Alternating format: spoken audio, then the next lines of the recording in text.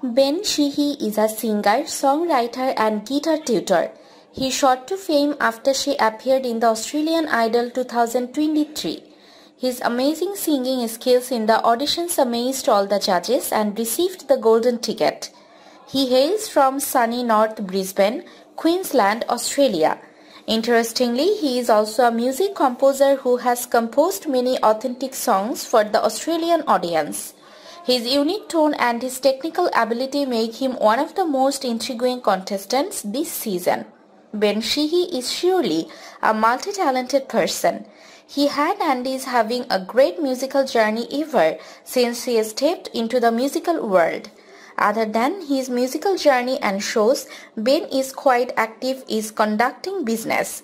He has been running his private business since 2017. While conducting his business, he also focused on playing guitar lessons and playing gigs with jazz and rock bands. Other than this, he has also created intricate and memorable film scores. Ben Sheehy's dream is to travel the whole world and participate in various locations.